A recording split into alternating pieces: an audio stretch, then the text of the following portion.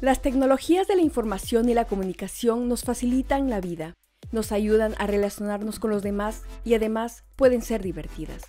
Pero en el mundo digital es muy fácil desconectarse de la realidad y aislarse de todos. Para evitarlo, sigue estas pautas. Disfruta de actividades al aire libre. Hazlo en familia. Usa el dispositivo en áreas comunes.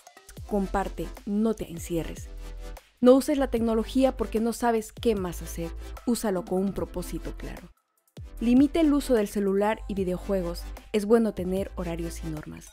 La edad mínima para tener una red social es 14 años. Infórmate sobre los riesgos.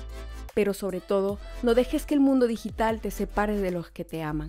Conversalo con tus padres.